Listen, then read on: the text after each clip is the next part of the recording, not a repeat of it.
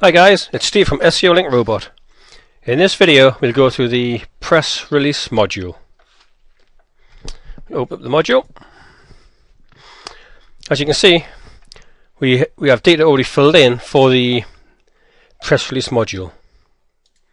We should have that as marked and, check that out.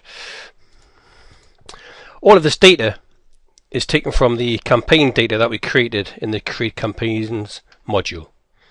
As you can see, the user data is the data we've used in the article submissions and the profiles. This data is also used in some of the press release submissions.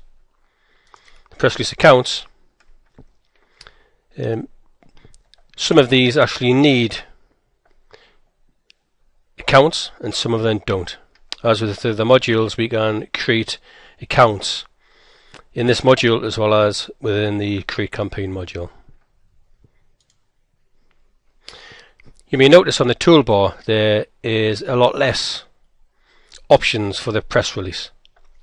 This is because with the press releases in most cases you can't actually get the URLs so we cannot pull these back within the software.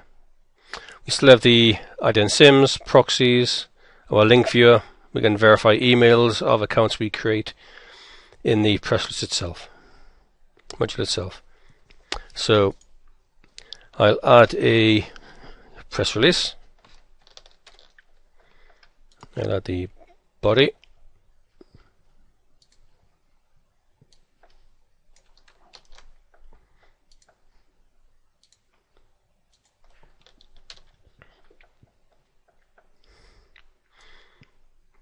Now the format for the press release itself, there are many samples of these on the internet which you can go through and and find the exact format that you require for yourself.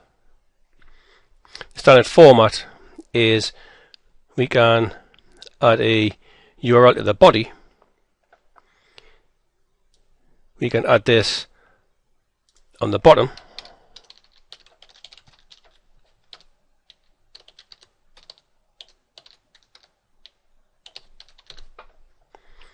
and we can also add one to the text itself.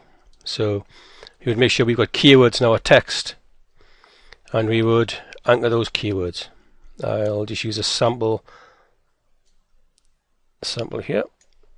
I'll choose which link I want. I'll link that one. So choose that. Insert URL. That's our links entered. We can also spin this check the word count and also preview in the browser. So what we'll do, we'll ident the sims.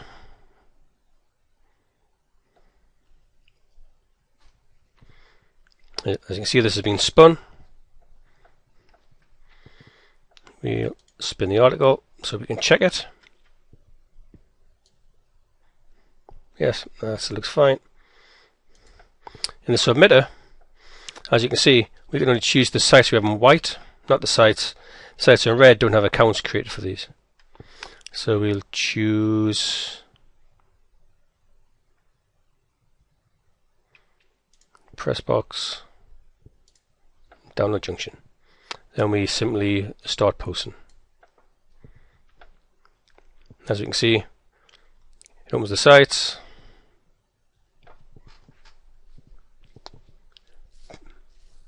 Gets the captchas and posts.